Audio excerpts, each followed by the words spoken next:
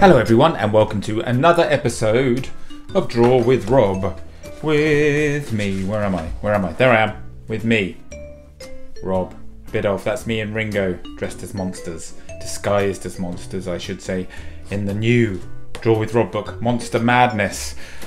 Now, I'm a children's author and I'm a children's illustrator. Maybe you've seen this. This was my very first book, my first picture book, and it's called Blown Away. It's all about Penguin Blue here who goes out flying his kite on a very windy day and ends up getting blown away. And he ends up somewhere that penguins aren't usually found. He ends up in the jungle. And they have to think of a clever way of getting back home again.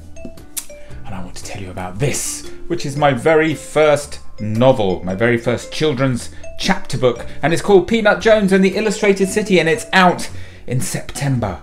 2021, so not long to go. I'm super excited about this book. It's all about this little girl called Peanut who finds, let's see if I can show you what she finds. Where is it? Where is it? I don't even know where it is in my own book. Here we go. She finds one day a. It's gonna get there eventually. there it is. A pencil.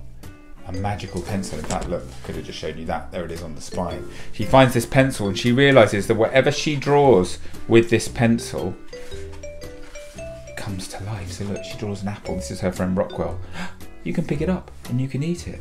So then she thinks, right, well, what would happen one day if I drew a door with that pencil? And I open that door and she walks through the door and look, she ends up in a totally illustrated world. And it's a super fun story. Look, there's loads of illustrations in it, absolutely loads. So I think you're going to really, really enjoy it. I'm super proud of it and I can't wait for you to read it. But that's enough about that. Because today we are doing a drawing together. Where's my piece of paper? Here we go. Let's see if I can get it in the middle first time. There we go. That's not bad, is it?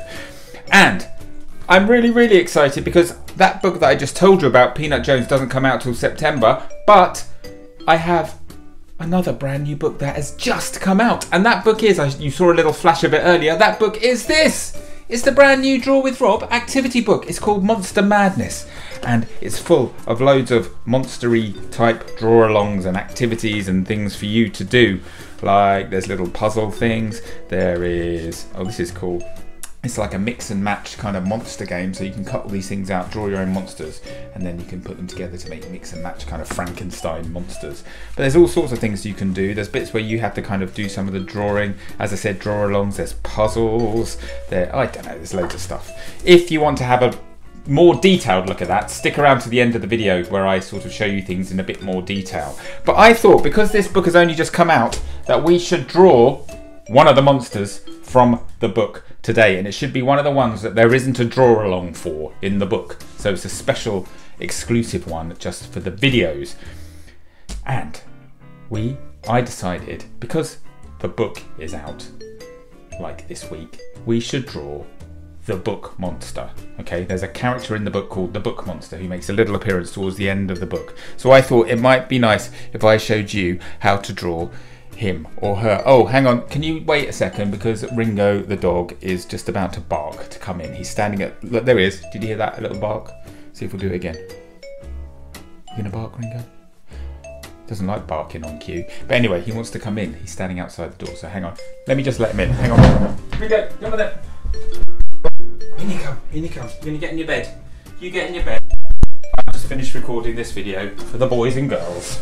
Right, sorry about that, guys. What a rude interruption. Right, where were we? Yes, the book monster.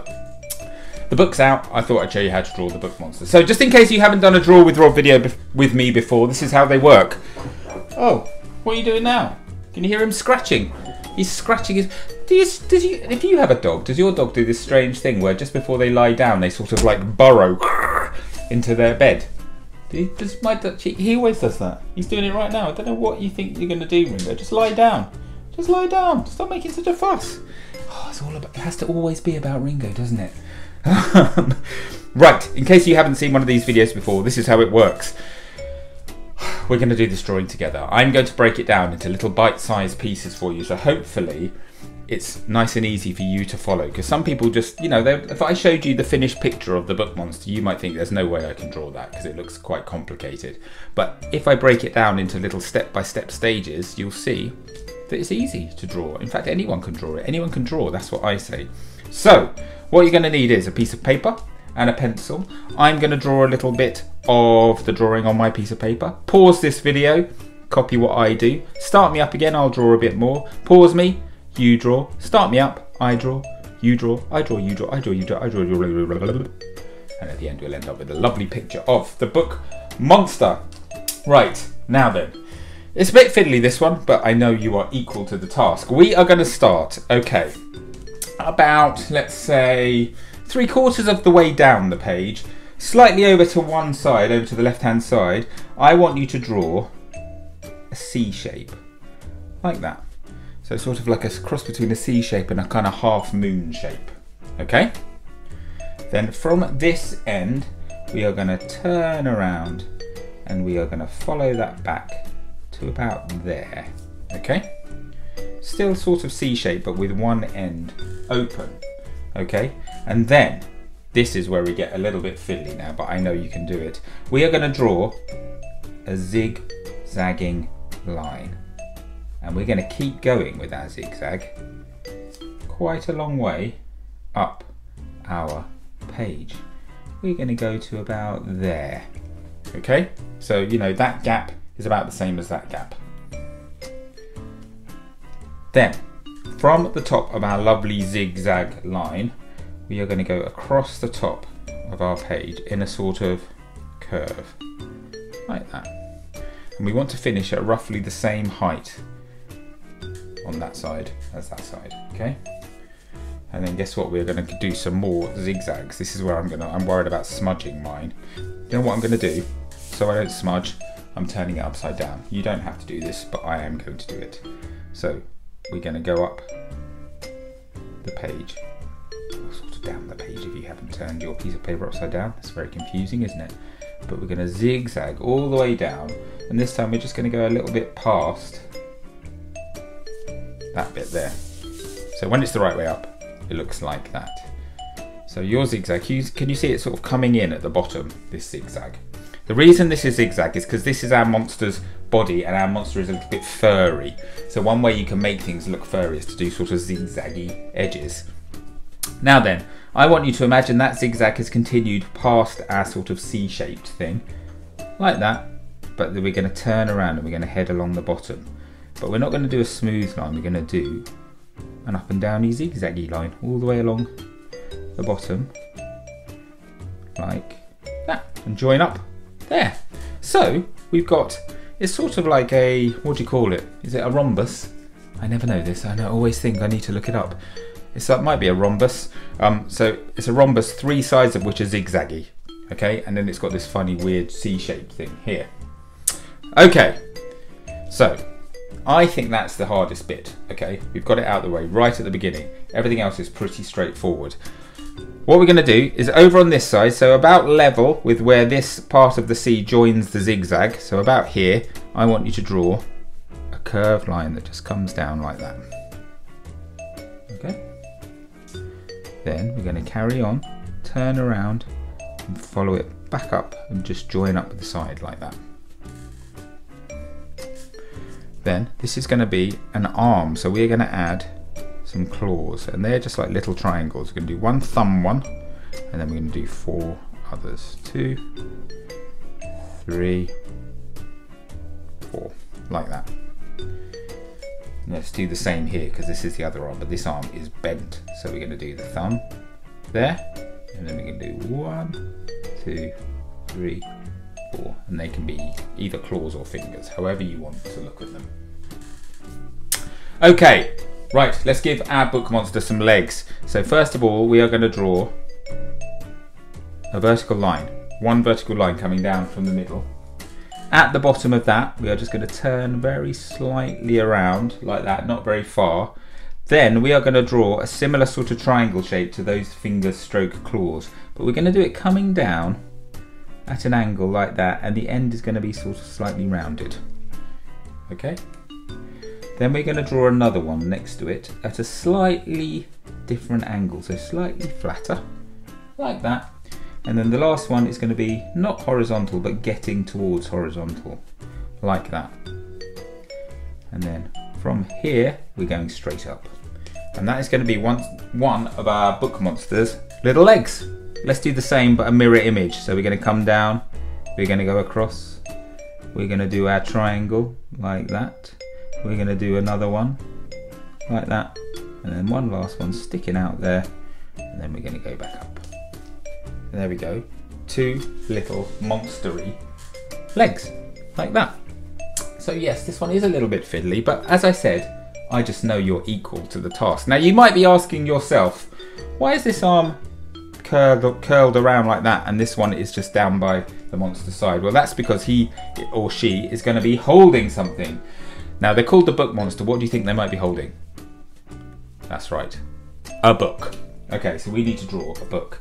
This is how we do the book. First of all, we are going to draw a rectangle shape behind that arm and at a slight angle, like that.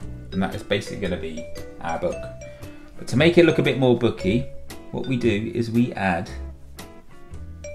a sort of lozenge shape at the top, like that, to make it look a bit bookish. And then let's just add some really thin lines like that. And there we go. Our book monster is holding, clutching a book to his or her chest. Okay, fun bit coming up now. We're going to give, first of all, let's give our book monster a nice smiley mouth. So we're going to draw, let's draw like a big sausage shape. Coming down next to the book, slightly sort of curving up at each end, but essentially a sausage shape. Now I'm going to flip pens to a thinner pen here because I want to give my monster little lips. So I'm just going to follow my sausage shape around just inside like this just to give our monster little lips like that. Okay, now time for teeth. Okay, here we go. Teeth, little semicircles, loads of them like that all the way along the top of the mouth. There we go. And let's give him some at the bottom as well. These ones are going to be very slightly smaller because our teeth are slightly smaller, aren't they, at the bottom? So maybe Monster's teeth are the same. Who knows? Here we go. A nice smiley mouth. Now what we need to do is colour this bit in. Okay? In between. So you've got to be very careful. It's not a big area to colour but you want to make sure you don't go over the edges of your teeth because we need to leave them nice and white, don't we? So carefully just go in between, in and out, like that. Make sure, try not to go over the edge of the lips. We want to keep them clear as well, so you might want to colour them a bit later. If you don't have any colours, don't worry, you can just shade it in with whatever you're drawing the main bit with, especially if it's a pencil. Pencils are really nice just to do some shading. There we go. A lovely smiley, monstery mouth. Okay, now the book monster. How many eyes do you think the book monster has? Because eyes are very important to book monsters. Did you know this? Because they need eyes to read all the books that they have to read, and they read a lot of books. So this particular book monster that we are drawing today has got a lot of eyes. In fact, I'm not going to tell you how many eyes because it's totally up to you. If you want, you could give your book monster one big eye. If you want, you can give them two normal size eyes like that. But my book monster is going to have loads of eyes, all different sizes, and they're going to fill up that whole space. So what you're going to do, I'll show you how to draw one. Let's do one right. Let's do one right in the middle here. This is how you do one eye. You draw a circle. Then inside that circle, we draw another circle, smaller one like that. Then inside that, we do another one up towards the top left. And then we just colour in around that. And then we add three little lines. And that is one of our book monster's eyes. But as I said, I'm going to do loads of them. So I'm going to go into super speed mode now and do my eyes. You can do as many or as few as you want, but I will see you back here in a couple of seconds with a lot of book monster eyes. Okay? Three, two, one, let's go.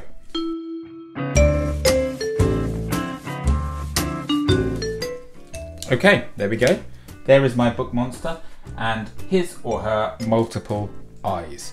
And you know what? That's pretty much it for the outline, the outline, the outline, the outline of our book monster.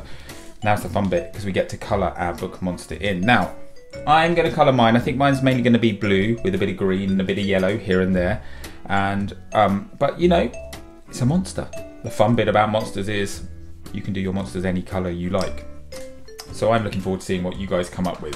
Hopefully, we're going to have a whole rainbow of book monsters at the end of this drawing session. So I can't wait to see what you do. I'm going to go into super speed mode again to colour my monster in. So I will see you back here in 20 or 30 seconds. Okay? Right. Three, two, one. Let's go.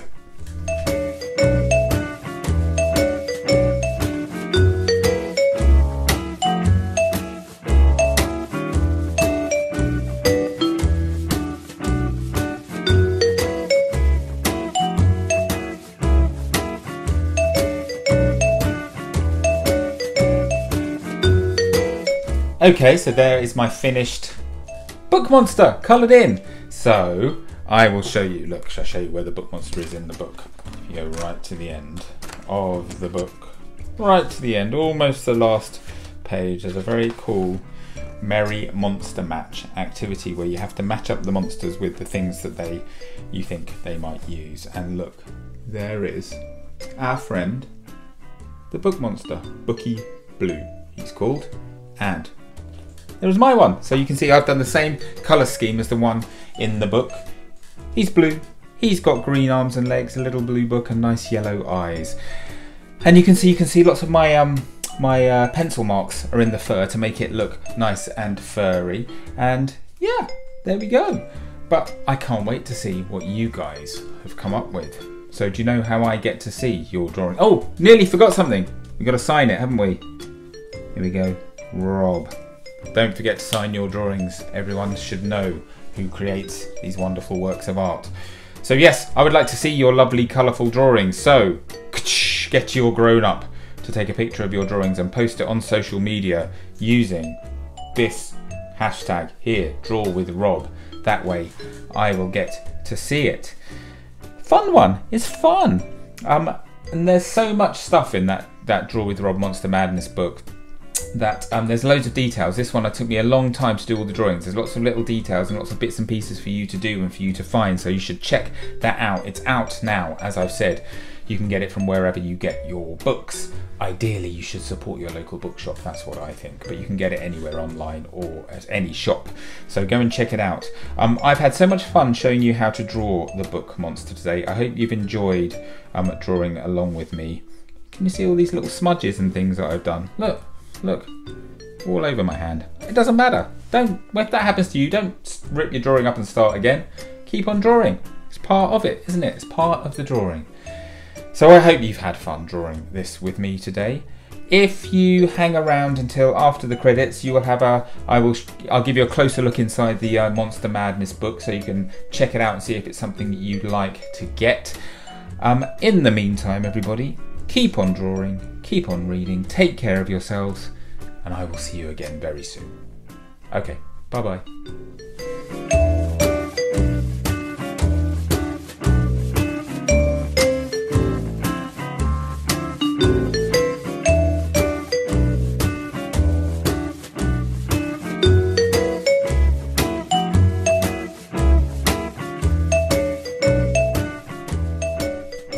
Just when you thought you got rid of me, here I am again popping up at the end of your video and I'm here to tell you all about the brand new Draw with Rob activity book. It's called Draw with Rob Monster Madness and I think you're really going to like it.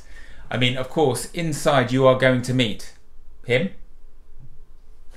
her, don't forget about him, and of course, my favourite, her.